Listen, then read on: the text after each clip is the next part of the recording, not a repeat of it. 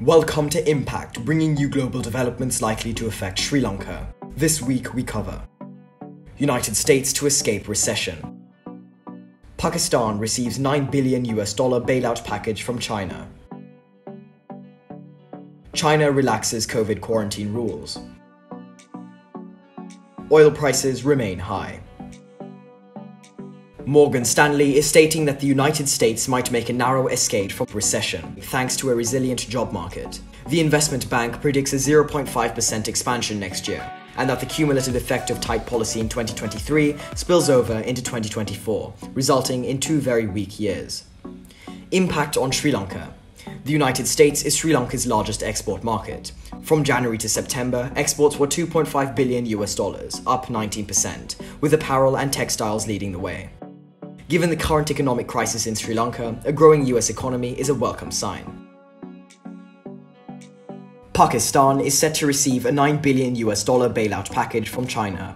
Further, the world's second largest economy has also publicly stated its continued assistance to the country.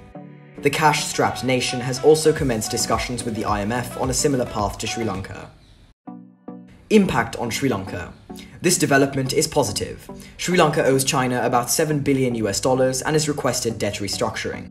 This would help the country's debt become more sustainable and as a result meet IMF's criteria for funding. China is relaxing COVID rules despite a recent surge in the number of cases. Latest measures shorten the quarantine period for international arrivals and close contacts of confirmed cases. Further, they have removed the penalty on international airlines bringing in virus cases. Impact on Sri Lanka. While Sri Lankans visiting China are small in numbers, it is hoped that such revisions would lead to China also relaxing its outbound travel restrictions.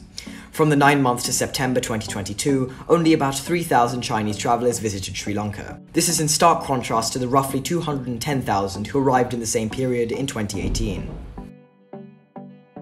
Global oil prices remain high but continue to fluctuate. A strengthening US economy and China easing COVID quarantine measures are helping to drive prices higher, paired by a strong US dollar. Impact on Sri Lanka. Despite high global prices, Sri Lanka's monthly fuel bill now averages around $350 million, down from $500 million. A decline in global prices will help the country's current balance of payment crisis. And that's a wrap for this week. Join us next time as we update you of global developments impacting Sri Lanka.